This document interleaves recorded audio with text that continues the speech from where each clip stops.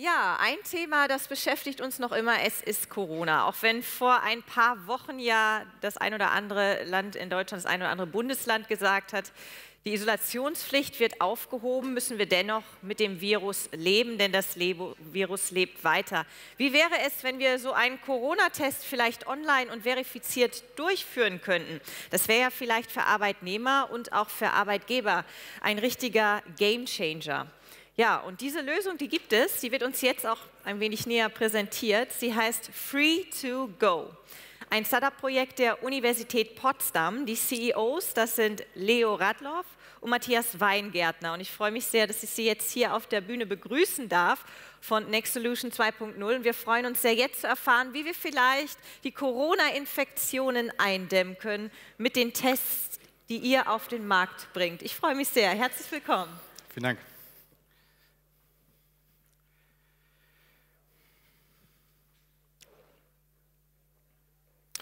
Ja, herzlich willkommen. Vielen, vielen Dank, dass wir heute hier sein dürfen. Mein Name ist Matthias, ich bin Student der Rechtswissenschaft an der Uni Potsdam. Und wir freuen uns wirklich, dass so viele heute da sind. Wir haben ein paar Ankündigungen, die wir sehr, sehr gerne Ihnen heute mitbringen. Als nächstes möchte ich Sie erstmal gerne zurück auf eine Zeitreise nehmen, nämlich in das Jahr 2020. Ich bin mir sehr sicher, Sie erinnern sich alle, ähm, wir standen vor großen Herausforderungen. Bibliotheken waren geschlossen, Cafés waren geschlossen und wir hatten wirklich Probleme, uns zu treffen, gerade auch im Studium. Und deswegen hatten wir uns dann gemeinsam, mein Kommilitone und ich, in einem Coworking Space eingemietet, um dort eben lernen und diskutieren zu können. Und hatten dort uns auch jeweils immer getestet. Und ähm, wir hatten die Verantwortung eben uns gegenseitig gegenüber und hatten dann eben die Schnelltests gemacht, die eben äh, dort auf den Markt kamen. Ähm, Coworking Space deswegen auch, weil wir eben viel diskutieren mussten und ich kann mich sicher erinnern, Sie waren auch alle zu Hause gesessen und hatten wirklich die Decke mittlerweile fast auf dem Kopf und von daher war das eine schöne Abwechslung von uns. Nachdem wir uns aber getestet hatten, hatten wir uns sehr oft gefragt, Mensch, geht das nicht smarter? Wir hatten unser ganzes Arbeitsleben, unser Bildungsleben umgestellt auf den digitalen Raum, aber zum Testen mussten wir immer noch wieder raus aus dem Haus. Und dann, wenn es dann doch sogar ein positiver Test war, dann zurück mit der S-Bahn nach Hause. Das war so irgendwie nicht ganz, was wir uns vorgestellt haben. Und deswegen haben wir eben die Free-to-Go-App entwickelt und damit den ersten digitalen Corona-Test. In einer ersten Pilotphase gemeinsam mit der Landeshauptstadt Potsdam konnten wir bereits schon 12.000 Testungen durchführen und eben Menschen ermöglichen, Tests durchzuführen, ohne das Haus zu verlassen und damit auch wirklich Infektionsketten unterbrechen. Das Schöne auch daran, das war das, äh, was wir von der, von der Landeshauptstadt Potsdam eben auch mitbekommen haben, wir konnten Personen verifizieren. Das heißt, wir hatten Telefonnummern, die verifiziert waren, die Personaldaten und natürlich auch Kontaktadressen, sodass auch wirklich Infektionsketten sehr schnell und effektiv unterbrochen werden konnten. Jetzt aber genau in den aktuellen Zeiten, in denen wir auch stecken, gibt es eben weitere Infektionsherde, wie zum Beispiel die Grippe, die jetzt wieder auf dem Vormarsch ist. Wir hatten es heute, glaube ich, im Tagesspiegel auch. Die Grippe ist viel, viel früher da, als wir es eigentlich gewohnt sind und wie wir es eigentlich auch kennen. Wenn wir aber an Produkten arbeiten, und das ist das neue Projekt, das wir Ihnen jetzt gerne vorstellen möchten, haben wir immer drei Kernaspekte im Blick. Erstens, es muss eine einfache Nutzbarkeit sein. Das heißt, es muss für jeden einfach zu benutzen sein von der ersten Einrichtung bis zur täglichen Verwendung. Das zweite, Sicherheit und Datenschutz. Gerade das ist auch ein sehr, sehr wichtiges Thema für viele Patientinnen, dass sie selbst entscheiden können, wie mit ihren Daten umgegangen wird und vor allem auch, welche Daten sie angeben. Und als drittes, Niederschwelligkeit. Es muss für viele Personen wirklich nutzbar sein, es muss barrierefrei sein, es muss in verschiedenen Sprachen verfügbar sein und erinnern wir uns, es war am Anfang wirklich ein Kauderwelsch. Man wusste nicht genau, wenn die Übersetzung schlecht war, aus dem Chinesischen ins Deutsche, da gab es dann doch mal ein paar Sachen, die nicht so ganz funktioniert haben. Das können wir mit einer App viel, viel smarter und einfacher lösen. Unser großartiges Team, das Sie auch an den weißen Pullis hier in, in, auf der DHC erkennen, hat wirklich in den letzten Monaten sehr, sehr hart gearbeitet und eine tolle Erweiterung der Free-to-Go-App äh, fertiggestellt und ich freue mich wirklich sehr, sehr, sehr, Ihnen unser nächstes Projekt vorzustellen und deswegen Film ab.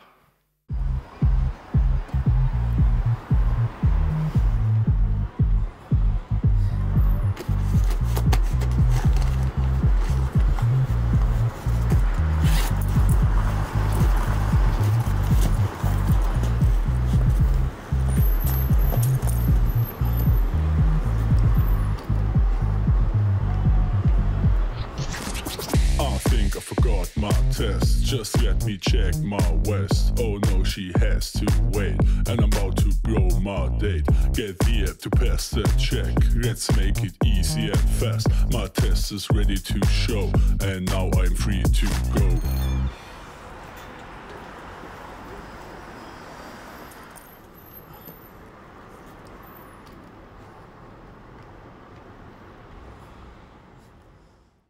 Ja, das ist Free2Go 2.0 und hier ist Leo, um Ihnen alles darüber zu erzählen.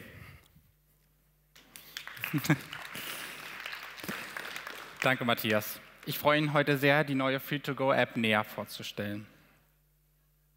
Egal ob der Besuch im Kino oder der nächste Flug in den Urlaub. Corona-Tests spielen zur Bewältigung der Pandemie immer noch eine große Rolle. Wir können durch flächendeckendes und häufiges Testen Infektionsketten frühzeitig erkennen und verhindern, dass sie sich ausbreiten. Und genau das wollten wir mit Free2Go machen. Die Testinfrastruktur in Deutschland nimmt immer weiter ab. Meine Oma wohnt beispielsweise auf der Insel Rügen und fährt in das nächste Testzentrum fast 45 Minuten mit dem Auto. Mit Free2Go bringen wir das Testzentrum zu Ihnen nach Hause. Aber bevor ich viel erzähle, zeige ich es Ihnen doch am besten. Ich habe von unseren Entwicklern schon Ärger bekommen, weil das Netzwerk hier doch sehr schwierig sein soll. Aber Sie sehen jetzt meinen Handybildschirm oben ganz groß auf der Leinwand. Sobald ich mein ewig langes Kabel hier entzettelt habe, starten wir auch schon mal. Ich habe mich einmalig mit meinem Personalausweis bei uns in der Free-to-Go-App registriert. Wir nutzen hier dieselben Standards in der Verschlüsselung und Verarbeitung von Ausweisdaten wie Banken in der Eröffnung von Online-Konten. Und dann kann ich es auch schon ganz einfach starten. Ich habe hier den Test von CJoy vorliegen, weil der einfach in 10 Minuten zu machen ist. Also gehen wir doch mal rein. Ich bekomme am Anfang ein paar Hinweise, wie beispielsweise Hände waschen. Das habe ich natürlich schon gemacht. Anschließend generiert mir die Free-to-Go-App eine vierstellige Trust-ID, die ich auf der Testkassette aufzutragen habe. Hier kann man einen ganz normalen Kugelschreiber benutzen oder einen Füller. In meinem Fall ist es jetzt 3717. Durch den Button Weiter öffnet sich schon die Kamera und ich mache jetzt ein Foto vor der Benutzung meines Testkettes. So, und das war's auch schon. Durch den Button Weiter werde ich jetzt mit einem unserer Experts verbunden, die mich durch das Testprozedere begleitet. Wir haben hier extra die App so gestaltet, dass erst eine sichere und stabile Verbindung hergestellt wird, bevor das Testprozedere passiert, dass wir die gesamte Testung gut beobachten können die Person leitet mich jetzt durch das Testprozedere und anschließend startet ein 15-Minuten-Countdown. Am Ende mache ich ein Foto von meinem Ergebnis, was ich hochlade und was im Hintergrund durch unsere Experts analysiert und ausgewertet wird. Da wir letztes Jahr mit diesem Produkt in der ersten Pilotphase schon an den Start gegangen sind, haben wir viele Fragen aus Politik und Verwaltung erhalten. Wie könnt ihr eigentlich sicherstellen, dass beim Test keiner schummelt? Wir haben eine Reihe von Sicherheitsmechanismen eingebaut, um zu garantieren, dass Missbrauch hier möglichst minimiert wird. Zuerst der ID-Check. Das heißt, man muss sich mit Klarnamen anmelden und verifizieren die Ausweisdaten, damit das System weiß, wem ein Test am Ende auch ausgestellt wird. Und das zweite ist unsere Trust-ID. Jeder Test wird vor der Testung mit der vierstelligen Nummer beschriftet. Diese wird zufällig generiert und wird nur einmalig vergeben. Anschließend durch die Fotos vor und nach der Testung sind wir in der Lage, diese im Hintergrund von der Testkassette zu entfernen und übereinander zu legen, um sicherzustellen, dass die Testkassette vor und nach der Benutzung auch dieselbe ist. Denn die Handschrift kriegt man nicht zweimal gleich hin. Zusätzlich werten unsere Experts das auch im Doppelcheck-Verfahren aus. Das heißt, zwei Personen unabhängig voneinander kontrollieren das Ergebnis. Ich bin überzeugt, dass wir dadurch Missbrauch möglichst minimieren können und damit zurück zu Matthias. Vielen Dank, Leo. Ähm, Free2Go ist eine großartige App, mit der wir gemeinsam aus dieser Pandemie nun endlich rauskommen werden. Mit einer 1 zu 1 Videobetreuung können wir eben direkt mit Ihren Mitarbeitern oder auch mit den Personen, die einen Test benötigen, kommunizieren, diese Anleitung und wirklich so einen validen Test durchführen. Mit vielen anderen Features, wie zum Beispiel automatisierte Testverschickung als auch zum Beispiel das Zertifikat direkt aufs Handy. Wunderbaren Öffnungszeiten. Wir hatten jetzt in der Pilotphase 6 bis 22 Uhr beispielsweise, sind nur eine wenige unserer, unserer Features. Während unserer Pilotphase zum Beispiel auch kontaktierten uns viele Unternehmen, die eben vor dem Problem standen, dass sie nicht wussten, wie sie gut, ein gutes Testkonzept aufstellen können, ohne in großes Risiko zu gehen. Gerade auch zum Beispiel das produzierende Gewerbe oder der Einzelhandel standen vor der Herausforderung, dass diese eben nicht ihre Mitarbeiter nach Hause ins Homeoffice schicken können, wie es vielleicht für viele Dienstleistungsunternehmen möglich war. Sie hatten dadurch eben mit einem hohen Krankenstand zu kämpfen. Und auch jetzt schon im ersten Quartal 2022 gab es eben schon einen Krankenstand laut der Techniker von knapp über 5 Prozent. Das heißt wirklich eine hohe Zahl, die Unternehmen vor große Herausforderungen stellen. Was aber viel schlimmer ist, knapp 10 Prozent alle Arbeitnehmer, die eine Corona-Infektion haben, gehen trotzdem mit einer Corona-Infektion ins Unternehmen und gefährden damit den Betriebsablauf bzw. können die Infektionsketten dort eben dann weitergeben. Wir haben dazu aber noch ein neues Tool entwickelt, was das Ganze vereinfachen soll und deswegen gleich wieder Film ab.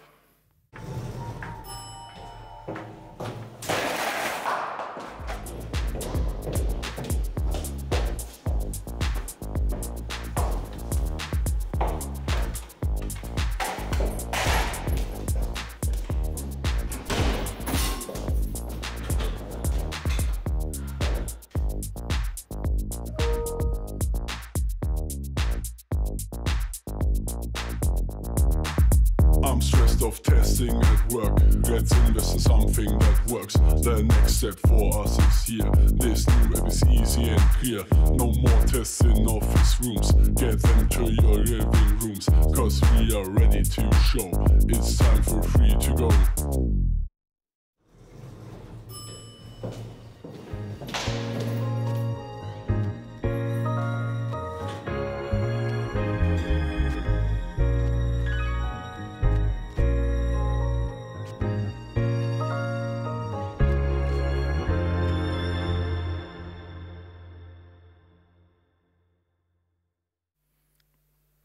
Mit Free2Go Pro schützen Sie Ihre Mitarbeiterin mit ganz, ganz wenig Aufwand. Free2Go Pro übernimmt dabei auch wieder drei Kernaufgaben. Einmal der Fulfillment Service. Das heißt, Sie haben es im Video gesehen, Sie können beispielsweise auswählen, dass die Testkits direkt an Ihre Mitarbeiter geschickt werden. Keinem Unternehmen bringt es etwas, wenn an der Kaffeemaschine, am Kühlschrank überall Tests liegen, die Mitarbeiter aber keine Tests machen. Sie müssen sich also nicht mehr um Logistik oder um das Verteilen kümmern. Außerdem ein Mitarbeiter-Reminder. Das heißt, Sie können beispielsweise einen, Test, einen Testrhythmus vorgeben, alle zwei Tage oder zum Beispiel auch für die nächste Weihnachtsfeier, die sich jetzt als nächstes anbieten, um gezielt für ein Event zu testen.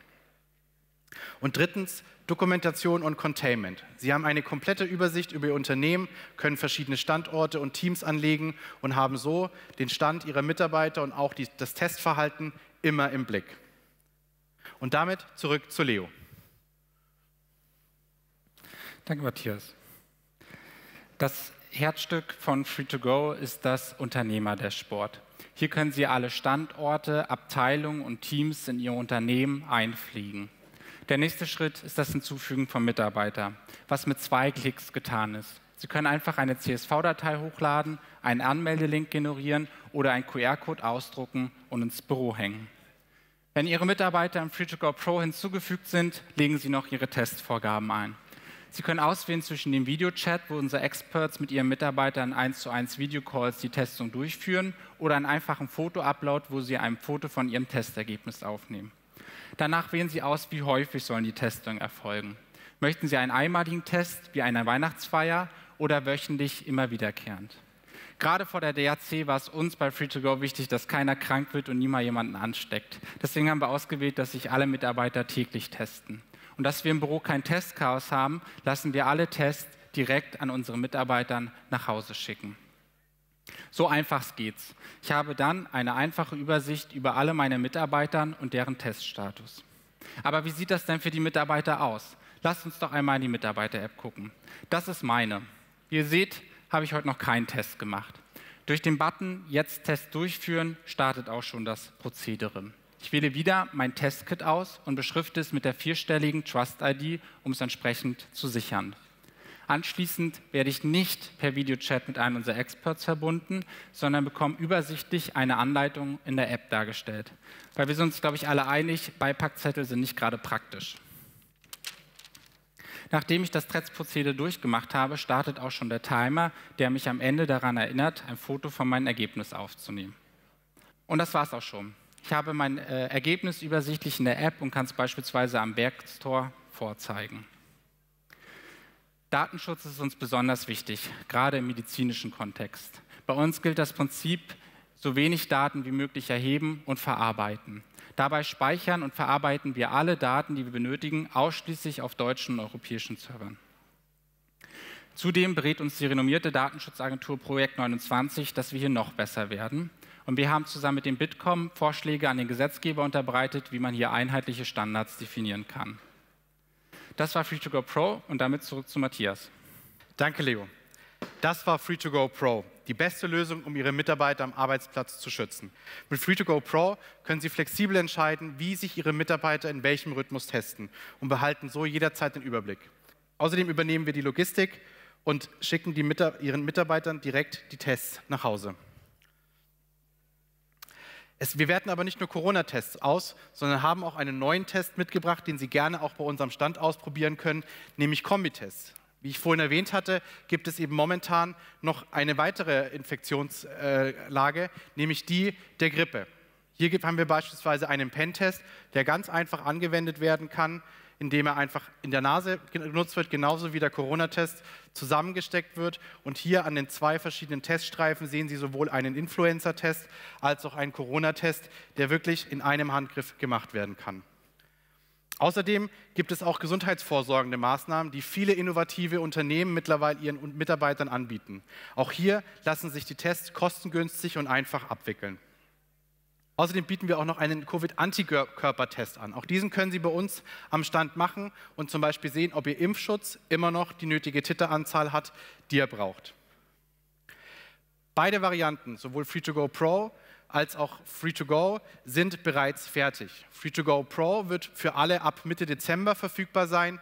Free2Go ist bereits jetzt schon in den Startlöchern und wartet nur noch auf die Zulassung durch das Bundesgesundheitsministerium. An dieser Stelle und möchte ich auch zum Ende kommen und mich trotzdem noch sehr, sehr herzlich bedanken bei der Universität Potsdam, ohne die wir hier nicht stehen würden, wo wir heute stehen. Wir hatten als kleines Startup in einem Coworking Space mit einer Idee begonnen, wurden dort unter anderem auch vom Bitkom wirklich herzlich aufgenommen, sehr, sehr unterstützt und können daher heute hier vor Ihnen präsentieren und wollen uns einfach an dieser Stelle nochmal sehr, sehr herzlich bedanken.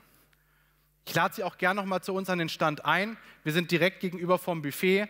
Kommen Sie gerne vorbei. Wir haben ein paar Tests mitgebracht, auch in die Richtung Pen-Test, Antikörpertest und freuen uns auf jeden Fall, Sie am Stand begrüßen zu dürfen. Vielen, vielen Dank. Bleiben Sie gesund. Schön. Vielen, vielen Dank. Dankeschön, Matthias und Dankeschön, Leo. Das war wirklich großartig. Dankeschön. Wir schauen beim Stand vorbei. Direkt gegenüber dem Essen. ja wenn wir es über direktes Internet machen und nicht über das Conference-Internet. Das hat gerade leider technisch nicht ganz funktioniert. Wir fanden es trotzdem großartig. Vielen Dank. Dankeschön, Dankeschön. Ja, wir bleiben beim To